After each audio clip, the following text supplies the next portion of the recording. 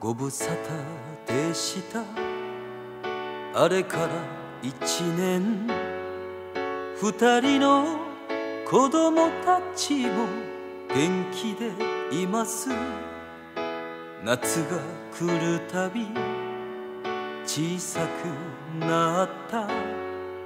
あなたの後ろ姿は元気でしょうか。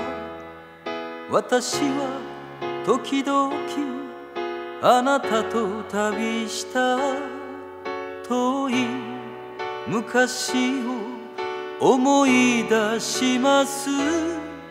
大きな背中を追いかけながらあなたは強いと感じていました。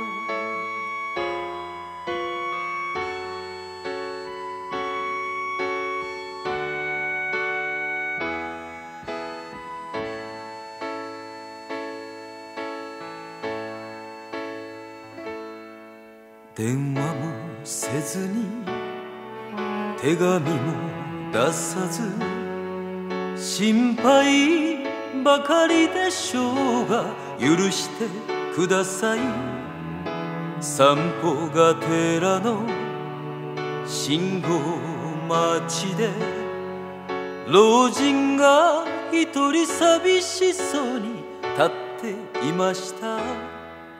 あなたは時々私と旅した遠い昔を思うでしょうか残り少ない日々の暮らしであなたは何を感じていますか？